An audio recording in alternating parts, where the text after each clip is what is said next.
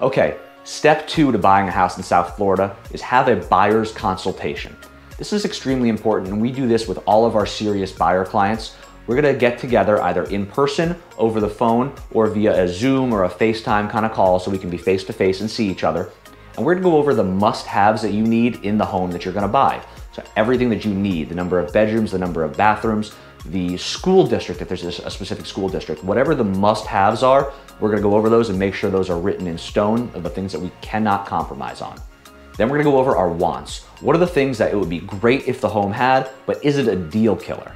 And then we're gonna go over what your five year plan is for this home. Buying a home is a, is a big financial decision. It's one of the biggest decisions that most people make in their entire life. So we wanna make sure that the home is gonna be well suited for you for the foreseeable future. If you have to sell your house in a year or two, there's no guarantee that you're gonna make enough money to cover the cost of the sale. So you wanna make sure it's gonna be a place where you can be for at least three to five years. That's the goal.